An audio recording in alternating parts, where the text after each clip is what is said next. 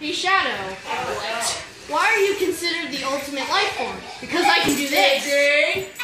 Let go.